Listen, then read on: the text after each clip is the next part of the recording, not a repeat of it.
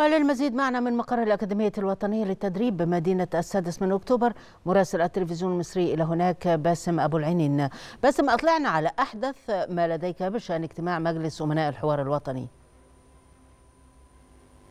مساء الخير على حضرتك.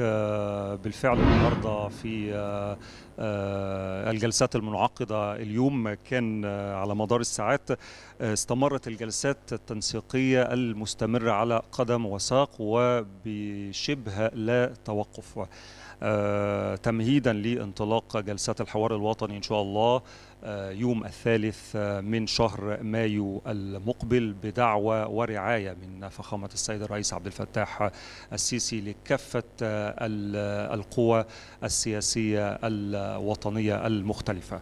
أجندة نقدر نقول إنها عامرة بملفات إقليمية وملفات دولية لها صلة مباشرة بالشأن المحلي فضلا عن تناول المحاور الأساسية لضروريات العمل الوطني.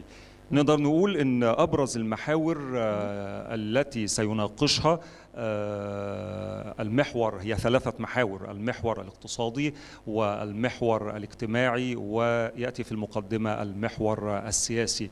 وهذه المحاور الثلاث الكبرى يندرج تحتها 115 موضوعا ستتم مناقشتها خلال فترة الانعقاد.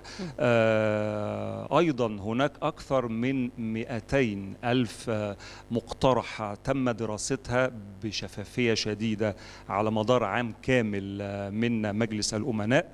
وعدم إخفال أي مقترح منها. 200 ألف مقترح تم دراستها بعناية شديدة من جميع القوى السياسية اللي طرحت أفكارها بمنتهى الشفافية وقوبلت بترحاب واهتمام بالغ من مجلس الأمناء.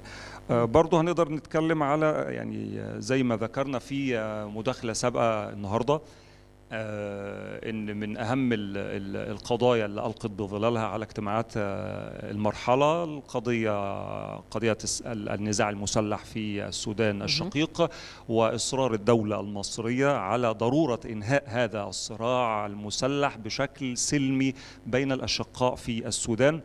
وأيضا ضلوع الدولة المصرية بدورها فيما ترتبت عليه أو ترتب عليه هذا النزاع في السودان من إجلاء المصريين العالقين من أبناء الجالية المصرية في السودان وأيضا توفير ملاذ آمن للعابرين من جنسيات أخرى اللي اضطرتهم ظروف النزاع المسلح في السودان إلى النزوح إلى أرض مصر الآمنة لتكون معبر لهم إلى بلدانهم سالمين بإذن الله.